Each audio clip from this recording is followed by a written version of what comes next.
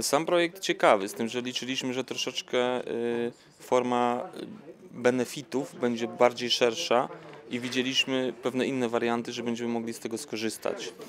Y, Na przykład, że w formie warsztatów będziemy mogli zakupić na przykład, y, no tak jak tutaj było mówione, na przykład mikrofony czy zestaw głośników do przeprowadzenia warsztatów w ten sposób.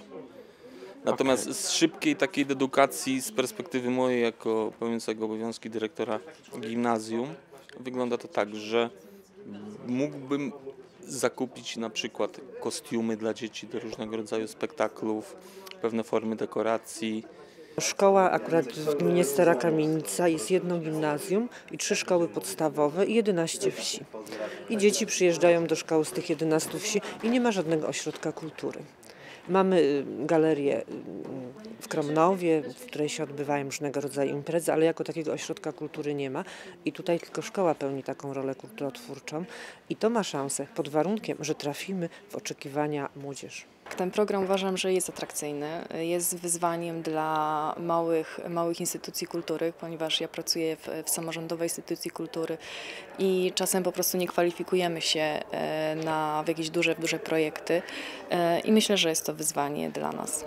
To jest bardzo atrakcyjny mm, program dla przedstawiciela edukacji. Ja jestem przedstawicielem i edukacji, ponieważ od wielu lat pracuję w szkole jako nauczyciel, ale jestem też przedstawicielem środowiska kulturalnego, bo e, zawodowo zajmuję się upowszechnianiem kultury, czyli po prostu śpiewam i koncertuję.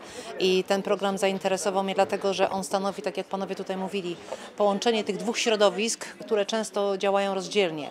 Szkoła ma swoje nauczanie muzyki, na, do, które się kończy na, na poziomie gimnazjum. Szkoda, że w średniej szkole nie jest to kontynuowane.